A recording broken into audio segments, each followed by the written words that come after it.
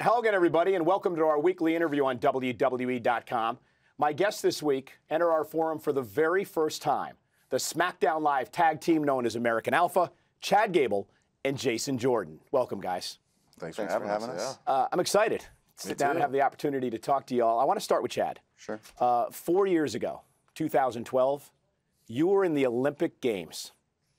Now you're on SmackDown Live. What was the biggest difference from moving from the amateur ranks in the Olympics into what we do here in? WWE? The biggest. Uh, there's a lot, first of all, but uh, the crowd here. The crowd is so different, and the way that you have to let the crowd affect you, you have to use them. Uh, I know that Jason and I use them in a way that, like, we would not perform the way that we do without the crowd. Uh, and you know, in the Olympics or in, in amateur wrestling, I couldn't do that. You can't let the crowd affect you. You can't let them because that could cost you a match. That could get to you. We use their energy here. We need their energy, and you can see us use it in a match. And it's just a whole different like it's just a whole different feel out there than you ever get, and you have to let them in, and you have to give it back to them. It just it's We awesome. feed off of them. Jason, uh, I've known you and followed you since you started here. Um, we always knew you had the potential. Um, you had everything. Five tool player, as they like to say. But there was always something missing. It just didn't quite click. Yeah. And then all of a sudden, out of the blue, you team up with this guy. Weird. And it was one night, and I remember I was there. It was at an NXT show at Full Sail, and you tagged in, and you went completely insane, and you had this energy that I had never felt from you before. And it was that night that we realized, wow, American Alpha's arrived. What was it about teaming with Chad that turned your career around?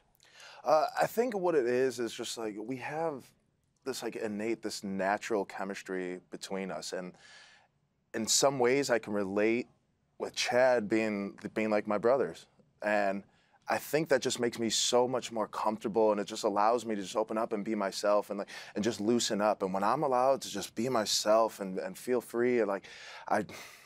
I, I, was, I was able to do what we did. I believe that was uh, Takeover Respect, Yep. if I'm not mistaken. And it, it was literally just like something came over me, and it was it was not thinking, not wondering, you know, what if, what if we don't win, what if this doesn't happen. It was just just do feel us, be be A Zen. yeah, and and when it happened, and I and, I, and at that moment of when when I finally felt it, and it was just the crowd came in on it, the crowd reacted, and and that just I almost lost it. Like it was to the point where I remember I was almost in tears. I was I was taking out Baron Corbin, I believe. And when it happened, I suplexed him and I came up and I pulled the straps down and the crowd was there and it was just like, wow, like like time just stood still, and I I was able to capture that moment and capture that feeling and feed off of that, and it's allowed us to continue to move forward and make steps to becoming what we are now. And you did move forward because I want to take everyone to NXT Takeover Dallas because that's when you arrived. You won the tag team titles. What an emotional night for you guys, right? Yeah. So you mentioned the Olympics briefly. Uh, and believe it or not, that was obviously the greatest day of my life, and at the same time, one of the worst days of my life. Because as you know, came up a little bit short there at the Olympics, right? Now to have this goal my entire life and then kind of come up short is like something was missing. Uh, there was still something in me, a little. There was fire left, and I needed, I needed to fill that little gap that I left. And we found this opportunity, and like, Which, which is funny that you say that because the same thing happened for me with my NCAA uh, career. I was number one ranked heavyweight and came into the NCAA tournament and came up short. I didn't win a national championship. I didn't even All American. And the same exact feeling that Chad had with the Olympics, I had. and for us, this Dallas thing was like, this is our chance. Like, we can redeem ourselves here. You know, like we got our chance to win on the big stage. You Like, guys were in tears. exactly. It's the, the the culmination of so many things coming together, the like a lifetime of hard work coming to one moment and it, and it all paid off because we we knew what it felt like to get to that point to be so close to to be so close to achieving your dreams, your goals and everything's there and everything can fall into place and it doesn't happen. And and it can mentally ruin you. It For really an can. athlete, for an athlete, that's the worst worst thing in the world. There's nothing worse.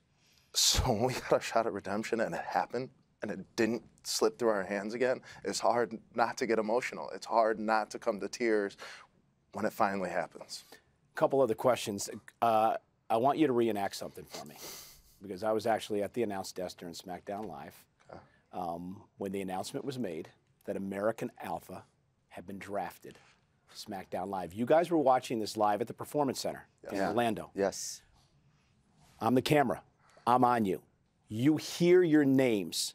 What was your reaction?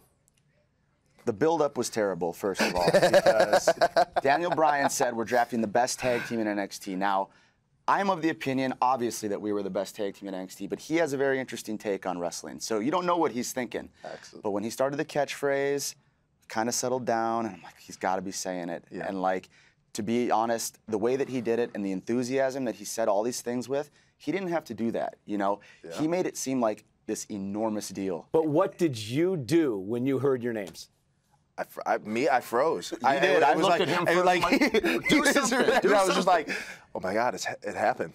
It's, it, it's happening. I this think I was real. just cheesing. and then like finally when it was like snap out of it like it, no it's real and like i turned and looked and your smile was like it's real it's happening and that, that was my reaction was just wow like it actually finally is happening So, guys, this is real. The fact that you're in a tournament to crown the first ever SmackDown Tag Team Champions. You've already advanced. So, how do you plan on winning the gold? oh, that's easy, right? yeah should, should we tell him? do you want to start, you, s- you start We're gonna stay ready willing and Gable. so sick